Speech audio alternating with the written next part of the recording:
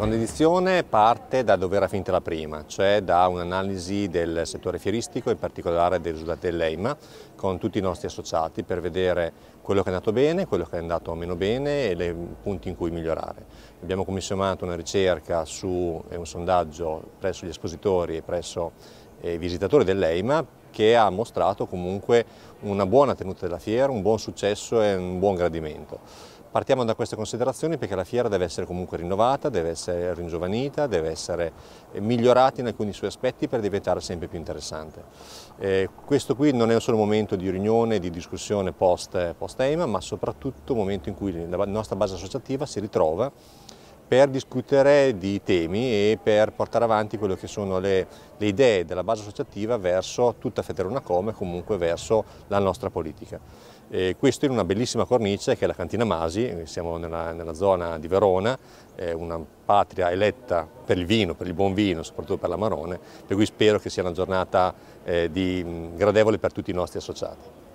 Ed è proprio la tenuta Canova Masi alla Zise, provincia di Verona, simbolo dell'eccellenza vitivinicola italiana, ad ospitare il secondo appuntamento con il think tank di Federunacoma, letteralmente serbatoio di pensiero. Un'iniziativa che per il secondo anno consecutivo la federazione dedica alla condivisione e al dibattito con le aziende associate sui temi di importanza strategica per il comparto. A fare da cornice le splendide colline del Veneto che si affacciano sul lago di Garda e in questa azienda che grazie ad un sapiente mix tra l'esperienza della tradizione, le conoscenze della moderna ricerca dà vita a vini di pregio conosciuti e apprezzati in tutto il mondo. Un approccio che ricalca di fatto lo spirito di questa giornata, condividere le esperienze per affrontare nuove sfide. Sì, abbiamo voluto organizzare per i nostri associati questa seconda giornata appunto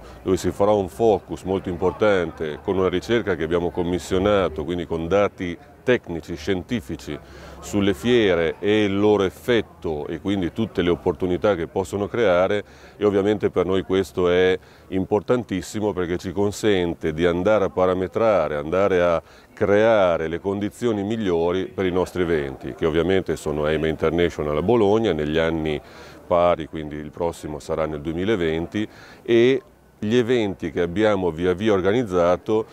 per cercare di arrivare anche a mercati e soprattutto bacini di utenza ulteriori. Uno di questi è sicuramente tra i più importanti è il Mediterraneo e con il nostro evento di Bari, eh, l'EIMA Agri Levante, noi crediamo di rafforzare quell'aspetto di mercato comune, quindi di problematiche simili che possono coesistere in un ambito di un bacino mediterraneo allargandolo anche ai Balcani e agli altri paesi dell'est europeo, arrivando fino addirittura al Medio Oriente e paesi comunque che hanno attinenza come produzioni e come caratteristiche, prodotti e problematiche. Una fra tutte ad esempio il discorso dell'acqua, una risorsa sempre più importante riteniamo che possano avere davvero delle risposte adeguate alle esigenze. Quest'anno c'è una grossa novità, abbiamo inserito nel palinsesto del nostro evento di Bari anche una parte dedicata agli animali vivi, quindi all'allevamento. A dicembre invece saremo presenti in India con il nostro evento ormai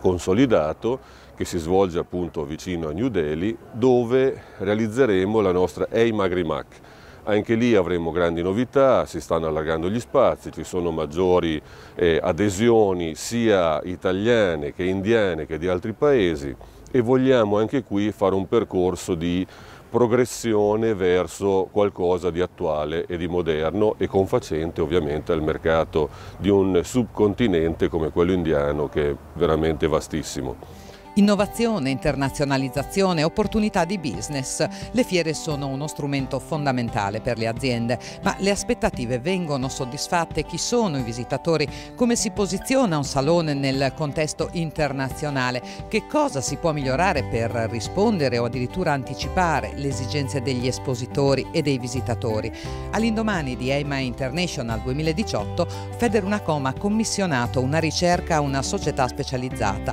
per conoscere conoscere qualità e gradimento della rassegna e ha presentato i risultati nella sessione di apertura del Think Tank. abbiamo avuto il bisogno come organizzatori eh, di una rassegna fieristica ormai complessa e certamente importante in termini numerici di svolgere un'analisi della soddisfazione dei nostri clienti. I nostri clienti sono in primis gli espositori, ma anche i visitatori numerosi, 320.000, che nell'edizione 2018 della rassegna hanno visitato eh, EIMA International. I risultati sono eh, veramente incoraggianti, eh, certamente sottolineano che eh, la soddisfazione per l'edizione scorsa eh, è stata notevole dal punto di vista qualitativo che quantitativo della rassegna,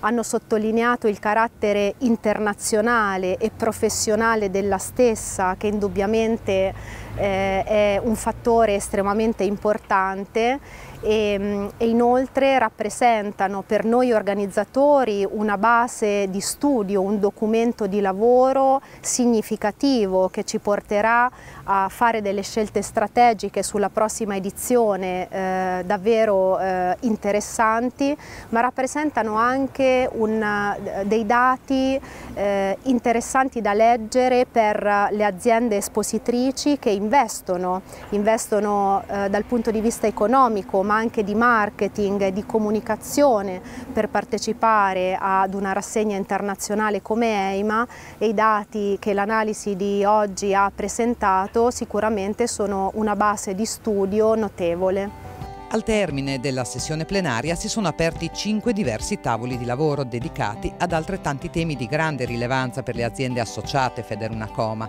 la PAC e gli scenari politici europei, i mercati emergenti, le competenze professionali e i nuovi profili per le industrie meccaniche, la valorizzazione e la comunicazione dei requisiti di sicurezza delle macchine e le prospettive dell'e-commerce nel comparto del gardening. Tanti gli spunti di riflessione e le proposte che ne sono scaturite.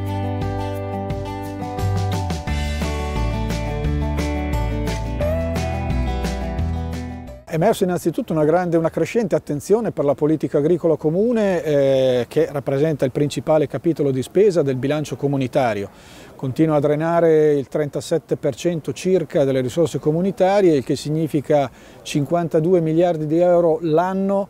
che vengono distribuiti tra i 28 paesi eh, dell'Unione Europea, di cui 6, fra i 6 e i 7 miliardi arrivano in Italia. 6-7 miliardi che possono salire a circa 9 con il cofinanziamento nazionale. E grande attenzione su come sarà rimodulata questa politica agricola comune nei prossimi 7 anni, nel periodo di programmazione 2021-27, alla luce di due fattori importanti concatenati, l'uscita dall'Unione Europea del Regno Unito, che è cronaca di questi giorni e sulla quale andranno individuate le modalità per evitare ricadute eh, negative diciamo, su tutti gli operatori del, del settore e eh, a seguire, una volta trovate queste modalità di uscita dal Regno Unito, bisognerà eh, ristabilire il bilancio, il quadro finanziario per i prossimi sette anni, quadro finanziario da cui a cascata dipenderanno anche le risorse della prossima appunto, politica agricola comune.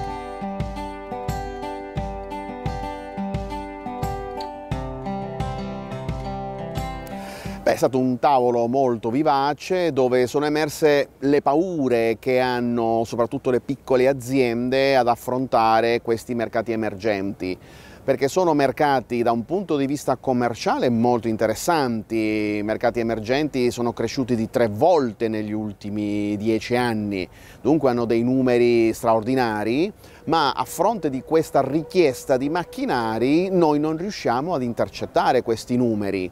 Eh, perché? Perché abbiamo un approccio spesso sbagliato. Il nostro è un approccio che si concentra solo sul prodotto, non si concentra sul mercato, eh, per cui semplicemente andiamo in questi mercati a cercare il compratore del nostro prodotto, che poi se la dovrà vedere lui a commercializzare, a fare assistenza post vendita e via discorrendo. Giustamente la piccola azienda, comunque l'azienda medio-piccola,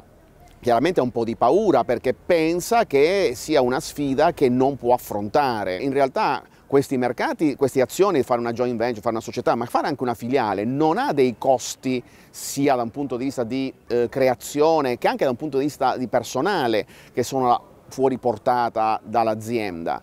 Eh, è, è perfettamente possibile affrontarlo, primo. Secondo, il problema del nanismo delle nostre aziende è un problema anche questo tecnicamente risolvibile. Eh, per esempio abbiamo i contratti di rete, che è uno strumento che consente ai piccoli di mettersi insieme eh, per affrontare i mercati esteri. È chiaro che però bisogna avere la mentalità per farlo.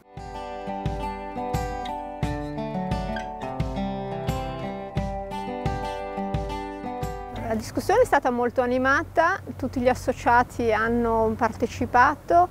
è stata sottolineata la difficoltà a trovare le competenze adatte, la necessità di avvicinare di più il mondo della formazione al mondo delle imprese, anche con iniziative autocritica da parte degli associati sulle um, carenze dell'industria, quindi sul, con la volontà di poter essere più attivi sulla necessità di fare promozione anche dell'immagine del, dell'industria delle macchine agricole per poter risultare più attrattive nei confronti dei ragazzi giovani e di fare sistema con le imprese eh, del settore manifatturiero. Sono come dal punto di vista dei profili delle competenze necessità di competenze ibride, eh, competenze digitali, ma è stata anche sottolineata l'importanza di eh, competenze trasversali, quali la capacità di eh, fare sistema, di avere una visione sistemica, la motivazione.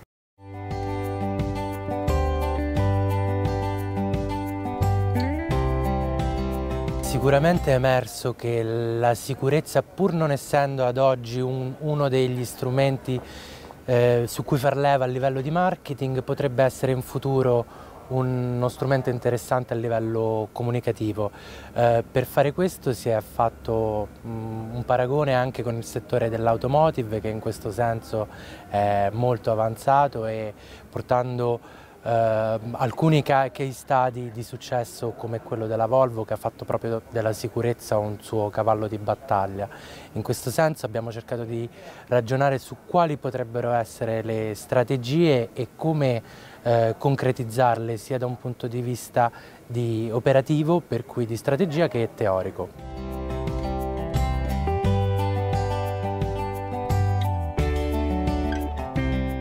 Abbiamo toccato mille argomenti, direi che forse i concetti più importanti sono stati quelli di ehm, come le aziende produttrici dovrebbero, dal mio punto di vista, diciamo, e poi è stata ampiamente discussa, approcciare al mondo del web, quindi massimizzando la loro presenza con il contributo di tutta la loro rete di rivenditori, quindi la loro, loro rete distributiva, che dovrebbe essere coinvolta ed essere fatta come parte integrante di una strategia allargata per veicolare e diffondere massimamente il proprio brand. Perché? Perché oggi la stragrande maggioranza degli italiani quando vuole acquistare un bene materiale, incluso praticamente le attrezzature da giardinaggio, vanno nel web e quindi il modo migliore è coinvolgere i propri rivenditori, magari convincendoli a creare un proprio sito web nel quale possono veicolare i propri brand.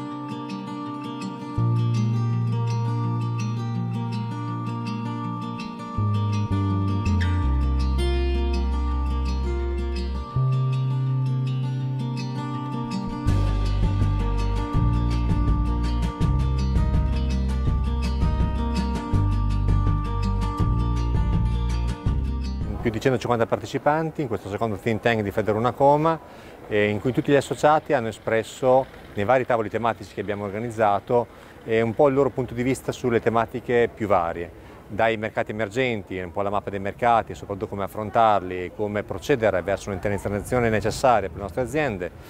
al tavolo sull'e-commerce, soprattutto nel settore giardinaggio, in cui un esperto ha dato tanti suggerimenti, c'è stato un interesse vivissimo di domande e di richieste di informazioni, anche perché è un mondo nuovo, un mondo che fa paura da un certo lato e interessa molto le nostre aziende dall'altro. Abbiamo avuto un tavolo molto interessante sui contenuti politici, soprattutto sulla nuova PAC, in cui ha mostrato essenzialmente le richieste della nostra base associativa sui temi di interesse europeo e il desiderio che c'è di una nuova PAC più rivolta verso la meccanizzazione e i mezzi di utilizzo dell'agricoltore. Abbiamo eh, poi visto eh, gli ultimi due tavoli sulla sicurezza eh, del, nel mondo del lavoro in cui si vuole eh, sfruttare essenzialmente la sicurezza, questo necessaria per legge, ma eh, anche come canale di marketing e di vendite dirette, come ha fatto il settore automobilistico alcuni anni fa. L'ultimo tavolo, ma non il meno importante, è quello delle nuove figure professionali. Nostra, il nostro settore è cambiato tantissimo negli ultimi anni, una volta eravamo a meccanica pura, adesso facciamo tante cose che di meccanica hanno veramente molto poco. Le nostre macchine si sono evolute, noi abbiamo bisogno di molte figure professionali sia dentro le nostre fabbriche che in tutta la filiera, anche perché l'utilizzatore finale ha bisogno di molto più servizio di quello che era prima eh, per cui è stata una bellissima giornata, una bellissima giornata associativa, eh, l'altra giornata associativa per noi è la, la riunione, l'assemblea di giugno in cui ci saranno le nuove elezioni e speriamo che sia partecipato come è stata quella di oggi.